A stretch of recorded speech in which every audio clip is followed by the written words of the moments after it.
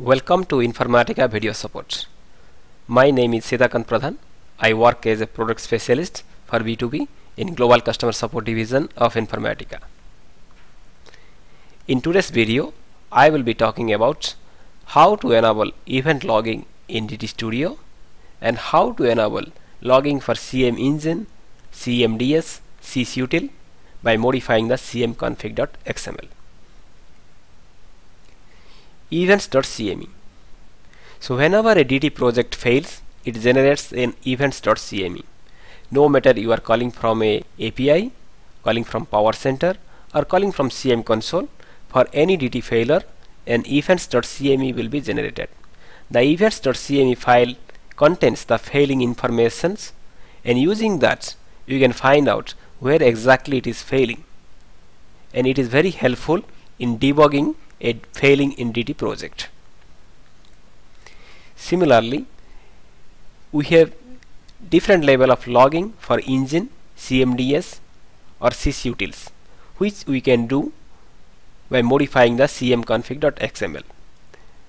Problems like crash, performance or intermittent issues on the issue which are not a logical or functional issue can be debugged by enabling logging at the cmconfig.xml. You can modify the cmconfig.xml either by launching the cm configuration editor or by opening the cmconfig.xml in any editor.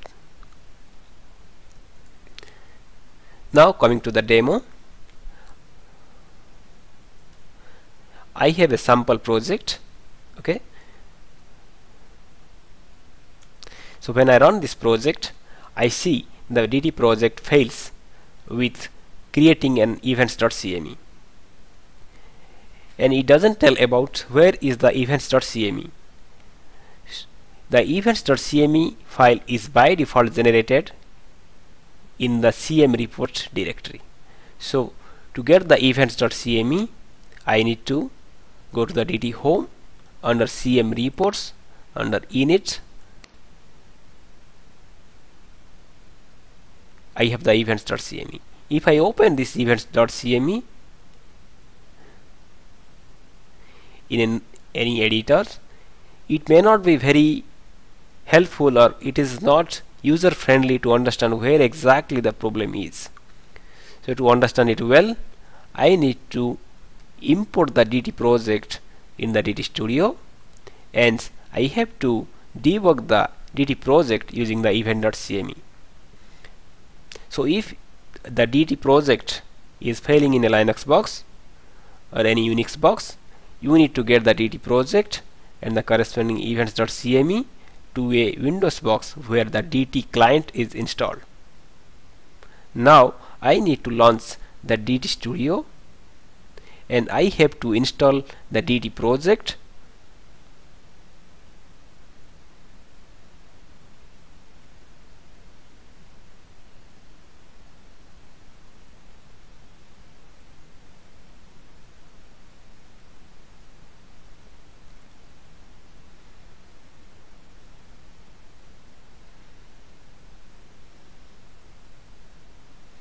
now I have installed that failing DT project. Okay?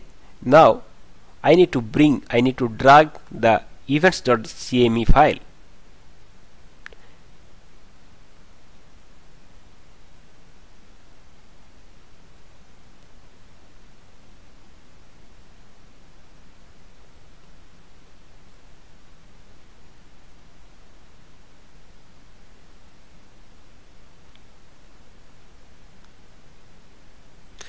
okay now as the import is done you can open the script and have a look what the logic there or you can run the DT project with the same input file. Now you can see in the events view panel you can see there is execution under that there is my parser because I have the DT project as my parser is the main DT project. Under that I have a repeating group okay and it's saying 1 that is in the first iteration itself there is a marker there is a content marker got passed so you don't have any red flag there whereas the content is failing with a red mark. Now to see where exactly it is failing I need to go to IntelliScript there I can say open example source. So the in the example pane I can see there are this input is there now if I click on the marker you can see it's saying found marker name. So it found the marker this one. Now in the content so it's saying cannot find closing marker of content this one.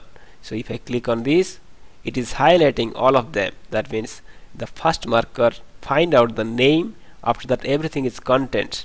Whereas I am looking for a content it is highlighting here. You can correlate as this triangle so in the contents I'm searching for a place whereas it couldn't find a place and hence it is failing. So this is how we can debug a DT failing project. So either because in the uh, DT project we are searching for place and the place is not there it is failing. So any DT project on any failure we have to get the DT project the corresponding input file or the events.cme try to replicate the problem locally and understand from the events CME with the input and with the logic we can correlate where exactly is going wrong. So if the it's mandatory to have a place after the name there is a problem in the input file the input file is not pertaining to the logic so we can say that the input file is the problematic and hence it is failing otherwise if the place is not mandatory we can make the content as a optional. You can make it as optional. So if it finds then it will process. Otherwise it won't fail. It will just skip the iteration. So that's how we will be debugging a DT failure. This is all about the functional and the logical issues. Other than that we can see problems like crash performance issue intermittent issues so during this time the events.cme or bringing the DT project may not be very helpful. So in those cases you can you can run the DT engine in debug boards. To do that either you can launch the configuration editor or open the cmconfig.xml and edit the section to run it in debug mode. So you can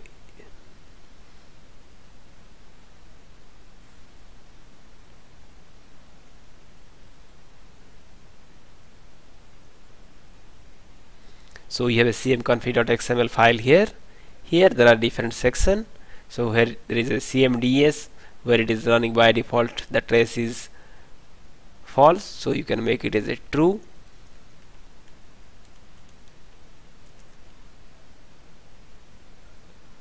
And separately should be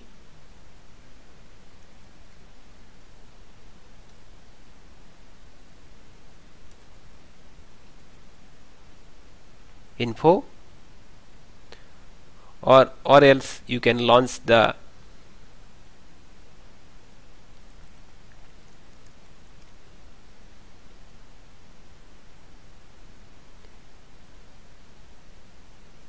cm configuration editor from the DT installation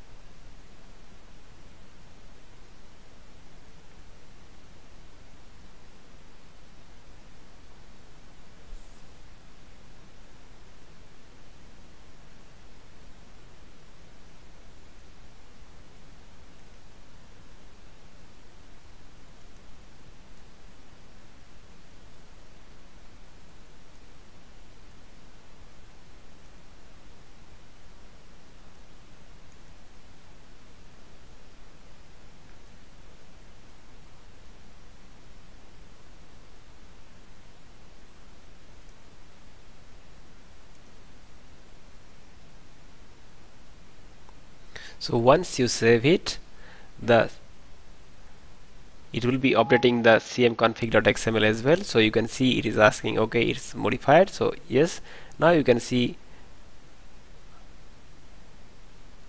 all this modified information here. CM engine uh, the tracing is enabled and the severity level is information. And by default it will be the engine logging will be in the cm engine log.txt so now if you run any DT project we can see the logging level information is